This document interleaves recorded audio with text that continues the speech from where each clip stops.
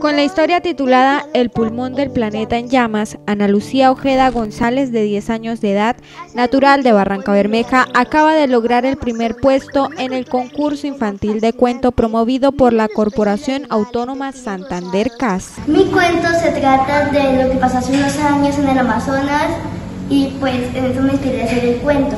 Pues me inspiré a hacer el cuento de eso porque la verdad es que fue un hecho que me llegó al corazón. Eh, los personajes, pues los personajes me llevan los que de mi imaginación son algunos, como las voces y, todos los personajes y eso pues son de mi imaginación, pero eh, también los personajes son sacados del Amazonas, como lo menciona al principio del cuento, el delfín rosado, el tucán, los monos, las aves, todo eso.